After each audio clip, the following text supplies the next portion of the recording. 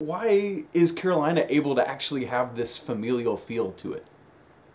Well, I think you touched on it. I think some people talk about it and some people do it. And um, mm. I try to run my business the same exact way. You know, the Carolina family, it's, it's not just a punchline. It's not a recruiting tool, as you alluded to. It's it's true, and we've seen it time and time and time again over the years, over the decades. And we try to do the same thing here at Jimmy's, and I take a lot of pride in that, especially for a restaurant, you know, an industry that traditionally has a lot of turnover. So there's a lot of things that I emulate uh, from the Carolina program, from you know Coach Smith and, and Coach Williams, and, and now HD, uh, into my philosophies and, and, to the way that you know I treat my coworkers. And yeah. we take a lot, a lot of pride in that. You know, we give them book bags, make them feel part of the team with their initials on it. It's just little things like that that go a long way.